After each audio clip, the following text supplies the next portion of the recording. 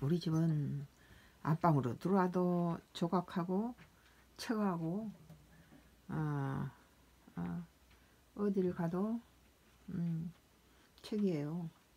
책하고 십자가하고 어. 음, 십자가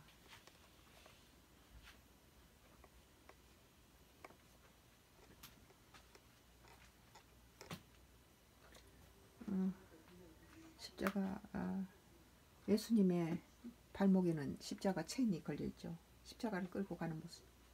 여기 부조에서도 십자가를 끌고 가는 3인의 강도와 아, 태양, 태양이 이렇게 사각으로 했네요. 여기는 어, 3인의 골고다의 3인의 예. 처형당할 때 골고다의 언덕에 세, 세 개의 십자가가 서 있죠. 가운데가 예수님이고 양쪽에 두 강도.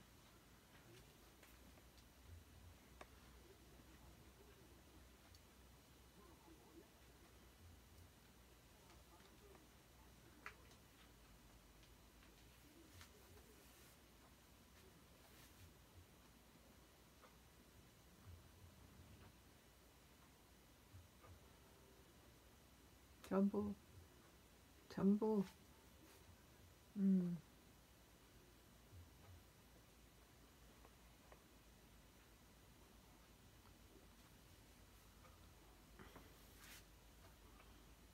작품과 아, 온 집에 작품과 책으로 도배가 돼 있네.